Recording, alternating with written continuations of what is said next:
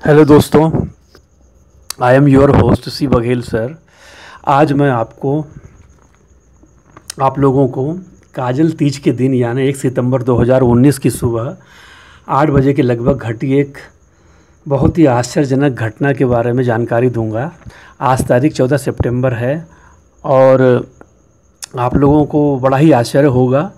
उस घटना को मैं इन चौदह दिनों तक विश्लेषण करता रहा हूँ। चलिए ज़्यादा समय ना लेते हुए आप लोगों को भी सावधान अलर्ट आगाह किए देता हूँ कि कैसी भी विषम परिस्थिति आए, अपने अंदर पेशेंस रखिए, हिम्मत से काम लीजिए, अपने विल पावर का सहारा लीजिए और विवेकपूर्ण परिस्थितियों से दो दो हाथ कीजिए।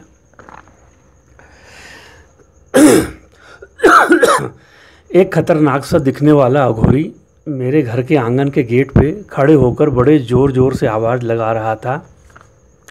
मेरी माता जी जो साइड में, बाड़ी में खड़ी थी, तुरंत अंदर आई, वो कुछ बतलाती। इससे पहले मैं भी उस अगोरी को आवाज़ लगाते हुए सुन लिया। लगभग घर के हर सदस्य का ध्यान उस पर हो गया। रात का जो भी बचा हुआ था, उसे एक प्लास्टिक झिल्ली में भरकर चला मैं उस अगोरी को देने। मैंने ध्यान से देखा, वो कोई ख़तरनाक अपराधी जैसा दिखाई दे रहा था गेरोए रंग की एक लुंगी जो पैरों से ऊपर की ओर ज़्यादा चढ़ाकर पहना था। बाकी खुला बदन, लाल सुर्ख आँखें गोल गोल टाइप की बाहर निकली हुई टाइप की।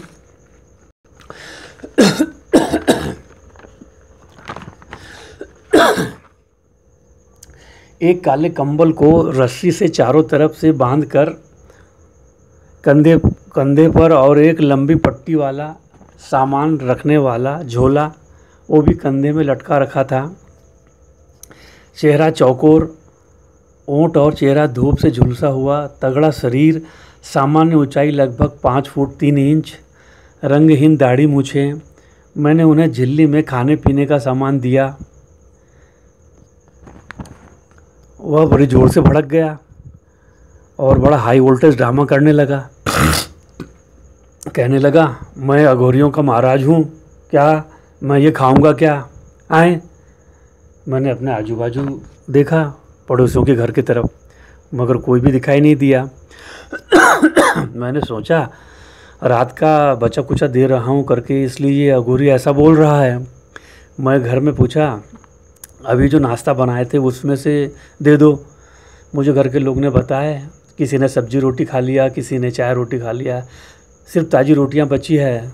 माता जी ने बोली, अचार के साथ दे दो, मैं दोबारा चला उस अगोरी को अचार रोटी देने। और उन्हें मैंने बोला, अचार रोटी है, ले लीजिए। और आगे मेरा इतना बोलना था कि वो और ज़्यादा फैलने लगा। उसकी स्मार्टनेस उसका ड्रामा और उसकी ओवर कॉन्फिडेंस देखकर अब धीरे धीरे मेरा पेशेंस भी ख़त्म होने लगा। मैं बोला, आप आगे कॉलोनी में दूसरों के घरों से मांग लो। अब जो हमारे यहाँ, हमारे पास में बचा है, वही तो देंगे ना। फटाक से लो और आगे बढ़ो। समय ख़राब मत करो। मुझे काम पे जाना है। तो वो दोनों हाथों को हवा में उठाकर मेरे तरफ़ बड़ी बड़ी आँखें दिखाकर कुछ पढ़ने लगा। इतने में मेरे बच्चे लोग आने लगे। तो मैंने उन्हें ना आने के इशारा किया। क्योंकि क्या है, जवान बच्चे कहीं जगोरी को दो चार थप्पड़ मार ना दे। मैंने अब सोचा ये अघोरी की क्लास लेना चाहिए। मैं अघोरी से बोला, अरे, आपको हमने बुलाए थे क्या? आए? चलो जाओ यहाँ से। मैंने घर की तरफ़ देखा और बच्चों को आवाज़ दिया, अरे बेटा, टामी की जंजीर खोल दे और मेरे पास भेज दो। अब इस अघोरी का चेहरा देखने लायक था। मैं बोला, टामी सब खाता है इशारा भर कर दो। ये घबरा के भागने लगा, मैं जा रहा हूँ, मैं जा रहा हूँ, मैं जा रहा हूँ भूल कर पीछे से मैंने आवाज़ दिया, दोबारा कभी आने की हिम्मत मत करना।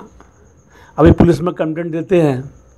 और आपको बता दूँ, सन 91 में हमारे प्यारे डॉगी टामी की डेथ हो गई थी, मगर वो आज भी हमारी हेल्प करता है। टामी से पहले मोती था। मोती की डेथ के बाद मैंने टामी को ख़रीद के लाया था। कभी फुर्सत से अलग से इन दोनों के ऊपर वीडियो बनाऊँगा। आप लाइक करना, सब्सक्राइब करना, कमेंट करना, हज़ार लाइक तो कर देना।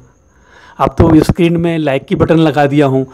स्क्रीन में देखना राइट साइड में कोने में, है कि नहीं? और भी बढ़िया बढ़िया वीडियो बनाऊँगा, ठीक है? आप अपने विचार रख सकते हो ना भाई। आपको कैसी लगी, क्या लगी ये घटना? और आज के ज़माने को देखते हुए सावधान रहना चाहिए। ज़्यादा धर्म भीरू बनने की ज़रूरत नहीं है। धार्मिक रहो ना, विवेक से काम लो। है कि नहीं? अब मैंने जो हेडिंग भी दिया है कि धार्मिक होना अच्छी बात है, मगर धर्मवीर होना बुरी बात है।